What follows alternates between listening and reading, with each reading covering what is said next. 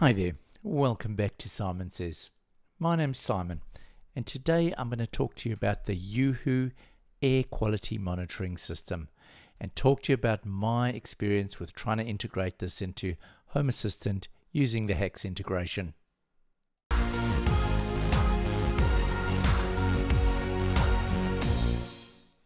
So the uHoo range of sensors comes from a company that was founded to develop commercial applications for air quality sensors.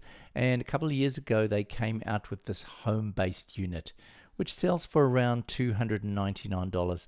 So, not on the cheaper end of side, but um, for the amount of different things that it is sensing or air quality components that it's sensing, not too expensive. Um, if we have a look down here, we've got things like temperature, humidity, CO2, CO, volatile organic compounds, air pressure, nitrogen, ozone, a virus index, as well as a parts per million index. So it's got a lot of different options that it's showing here. Um, the app itself is reasonably good. Downloaded the app onto my iPhone and it then gives you the steps to connect it to your Wi Fi network.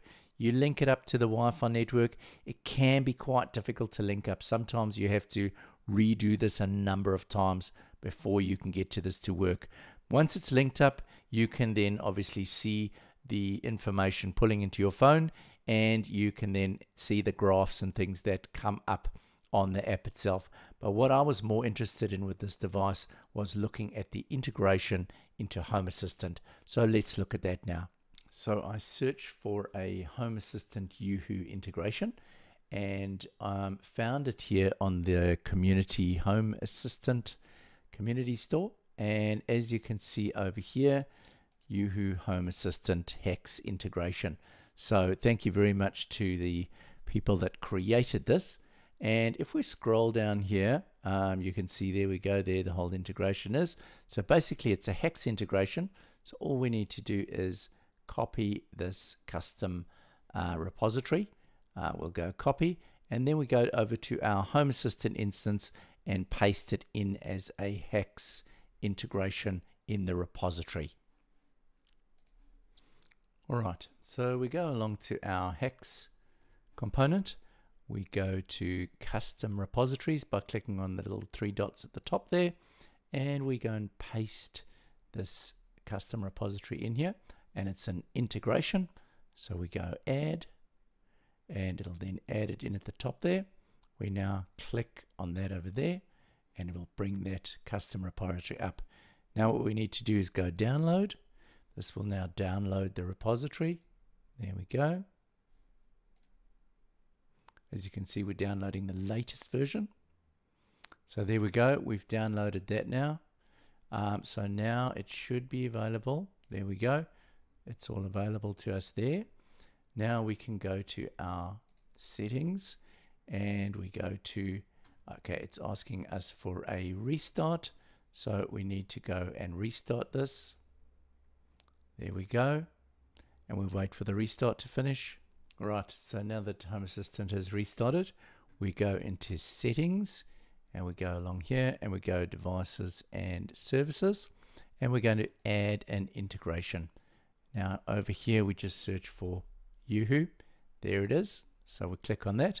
And now it's going to ask us for the password, well, the username and password that we created when we created the account on the uHoo app. So I'm just going to add mine in here. And my password.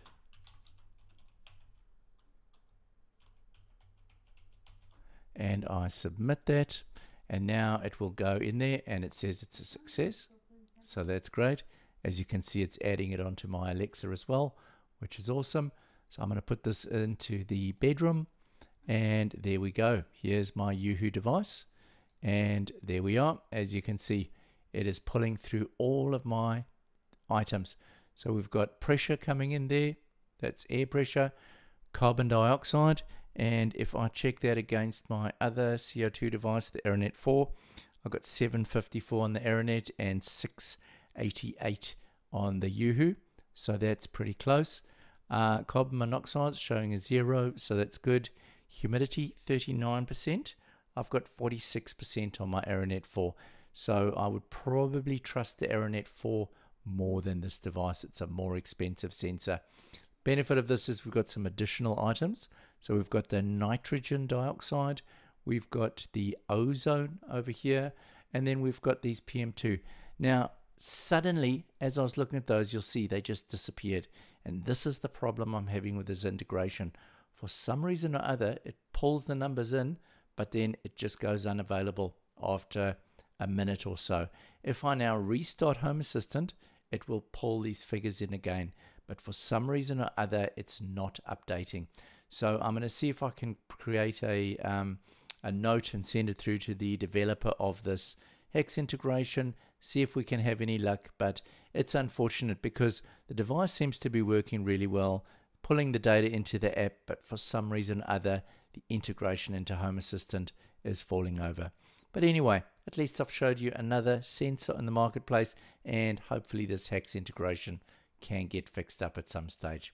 Anyway, that's all for me now. Have a great week. Bye then.